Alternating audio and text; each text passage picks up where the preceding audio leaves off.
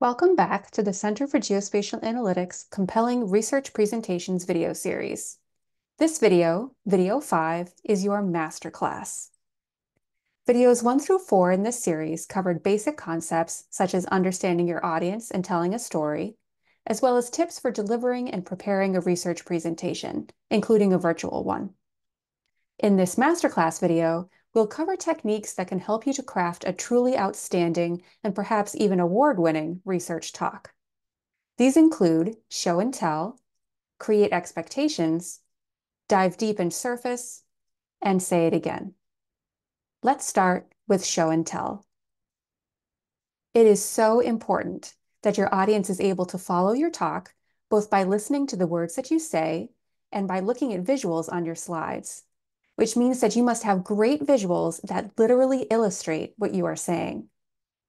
You may have noticed that throughout this video series, I am using very few words on screen, including only key phrases that I want you to focus on.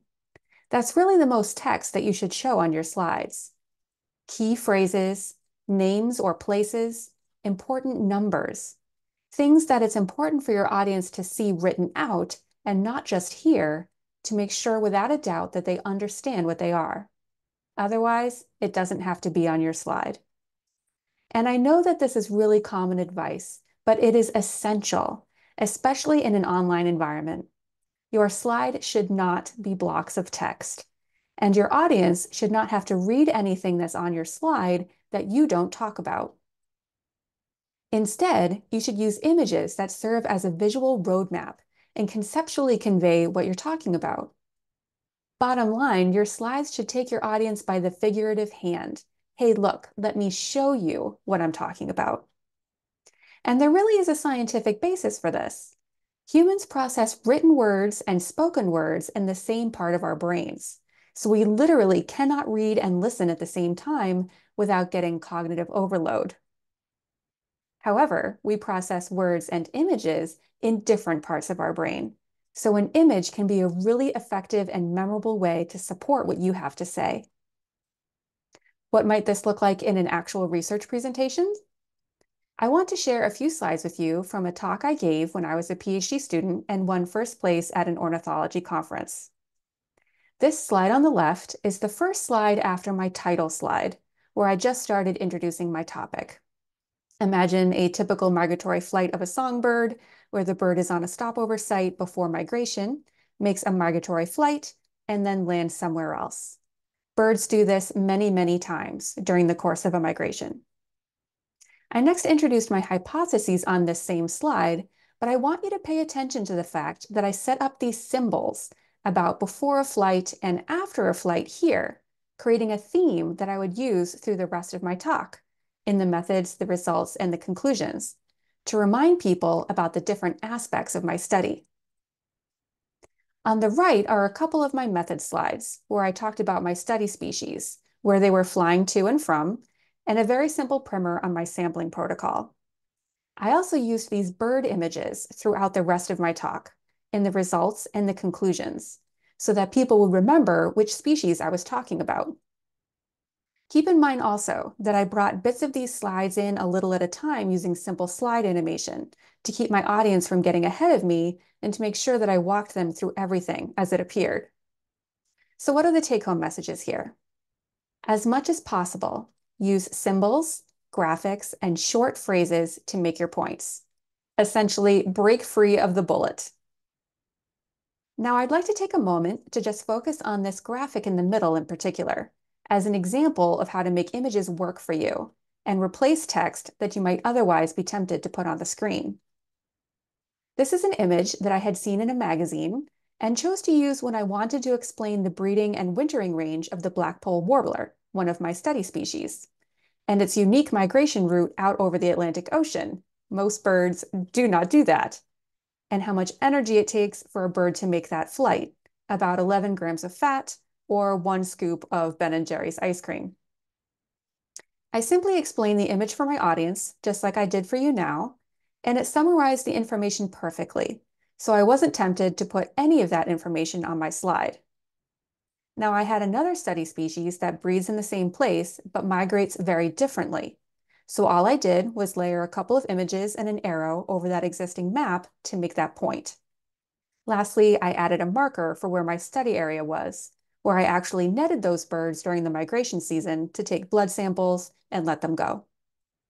So the take-home message from this example really is to make sure that your visuals are clear, large, and high resolution, that they are supporting the story that you are telling, and that they actually replace words that you might have been tempted to put on your screen. I also highly encourage the use of slide animation, that you layer information to bring it in a little bit at a time to tell that visual story, and keep your audience right along with you the whole way without getting ahead of you.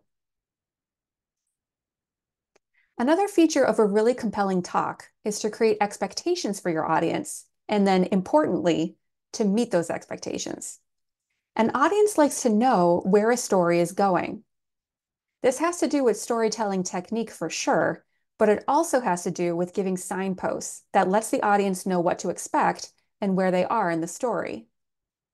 First of all, I recommend spilling the beans with a clear and informative title for your talk.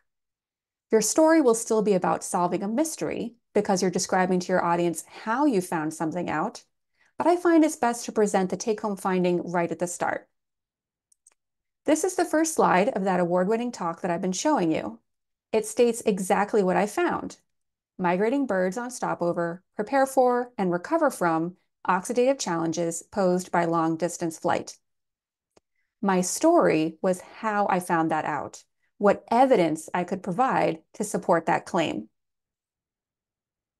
Another way to create expectations is to let the audience continuously know where you are and what's next, and remind them about where you've been. You may have noticed that in this video series, I set your expectations by telling you at the start what topics we were going to cover. And I've used those same symbols on each of my slides as a signpost to indicate where we are. I've featured that symbol alongside a dynamic series of arrows that show what we've already covered where we are now, and what's next. I call this a flow device. I like using them because they remind me where I am in a talk, but they also help the audience to follow along and anticipate what's coming next. I had seen someone do that at a conference a long time ago, and I thought it was a really neat tool. So what might setting expectations with a flow device look like in a research talk? The sky's the limit, really, in terms of how you design one. As an example, though, here's that intro slide that I showed you before, with a flow device up at the top. Here, my keywords are designed to look like tabs on each slide. And here's an example from my master's thesis defense presentation about a ruffed grouse study. You can see that the flow device looks a bit like an expandable drop-down menu to help keep track of a multi-scale research project. There are many ways to design a flow device.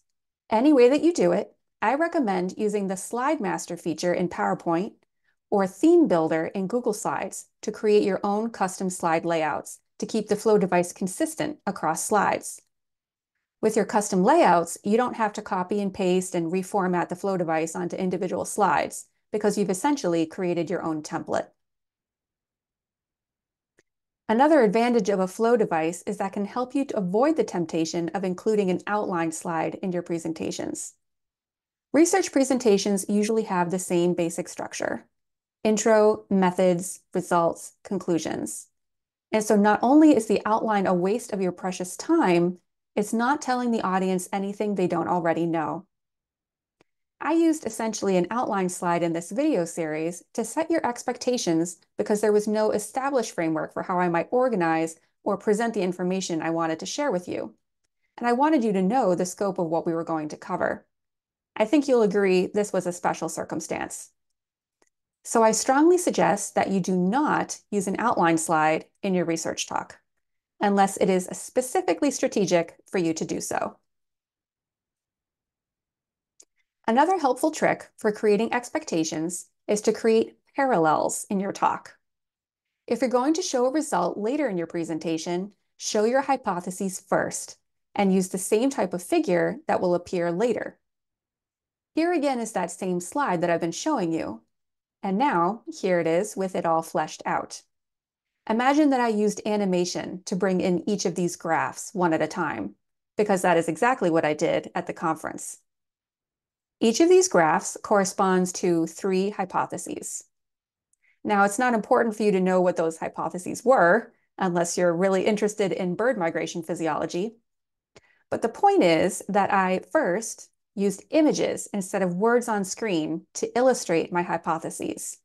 And second, that I created those hypothetical graphs because I wanted my audience to be ready for the results that I would show them with the real data. Here now are some of my results. You'll see that in this before migration period, I predicted a positive relationship between antioxidant capacity and fat and a positive relationship between oxidative damage and fat. And that's exactly what the real data show for both of my study species in that before time period. Now, it's probably very clear from these results and from your own science that a talk can quickly turn very technical. How do we manage that technicality without losing anyone in our audience? For that, all during your talk, you're going to take deep dives into the technical aspects of your science, and then, to keep your audience from drowning, you're going to repeatedly come up for air. I first heard this phrase, take deep dives and then come up for air, from a science communication professional named Melissa Marshall, who has given several talks here at NC State and who gave a very popular TED talk called Talk Nerdy to Me.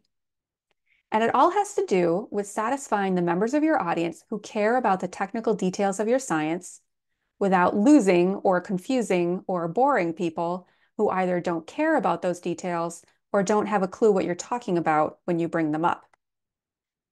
In a nutshell, Melissa Marshall suggests deep dives into the what of your talk, those fine points about your science, and then coming up for air with a statement about the so what, which means that each time you introduce a concept that would be interesting or noteworthy to only a fraction of your audience, you immediately say why it matters or what everyone should focus on about it. And that keeps everyone following along. Essentially, return to points of common ground as Melissa Marshall says, to satisfy audiences of different technical backgrounds. And you're going to do this multiple times during your talk. I'll give you an example. Two of the chemicals that I measured in the blood samples of the birds in my study were beta hydroxybutyrate and triglycerides. When I introduced these compounds, I literally said to my audience, all you need to remember about these is that beta hydroxybutyrate levels signal fat breakdown during exercise or fasting, and high triglyceride levels signal fat uptake and deposition during feeding. Now, all ornithologists who care about migration care about fat because fat is the main source of energy for migrating birds. Remember that graphic about the blackpoll warbler and the scoop of Ben & Jerry's? Birds need fat to migrate. My audience for this talk, however, were mainly field ornithologists, not chemists or physiologists. And I did not expect them to be familiar with the particular fat-related compounds that were part of my chemical analyses. I saw expressions of relief on the faces of my audience when I told them what I wanted them to focus on. They were glad to know that I was not going to drown them in the details of my lab work or ask them to remember new terms. But at the same time, it was important that I not talk down to anyone in my audience who might care about what particular chemicals I was testing for in the blood samples of these birds.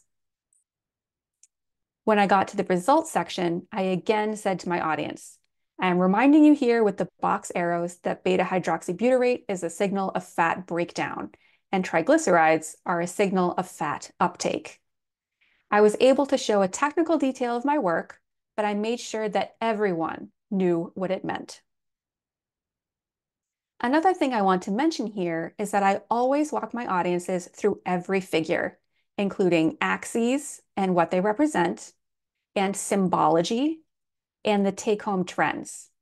And I suggest that you do the same, because this is the first time your audience has seen this figure, and they have a limited amount of time to absorb it before you move on. Again, slide animation, bringing in info a little bit at a time can help you here. As an audience member myself, I always wish speakers would walk me through their figures in detail or tell me what is most important about them. All right, we are down to the last tip in the masterclass. say it again. A common rule of thumb is that it takes a person three times hearing something to really remember it. And people are usually more likely to remember the first things you tell them and the last. So there is nothing wrong and everything right with a little healthy repetition. One of my favorite things that my PhD advisor ever said was tell them what you're going to tell them, tell them, and then tell them what you told them. For example, if you showed us some hypotheses to test at the beginning of your talk, remind us what those hypotheses were when you get to the end of your talk. Here in these slides, I've restated, yes, in words this time, what my hypotheses were and what their implications would have been. So the what and the so what. I'm doing a deep dive and resurfacing very quickly with each of these hypotheses. And then I've indicated whether they were supported or not with a simple check mark or an X. Lastly, leave your audience with a memorable take-home message. People in my audience laughed at this picture. And then restate your most important findings very simply at the very end. Remember, a research presentation is your opportunity to share your latest, greatest research with your audience and to make a positive impression on them. And the best way I've found to make that positive impression is to make sure that you help your audience as much as you can to understand. Keeping all of these things in mind will help you on your way. Thanks for watching.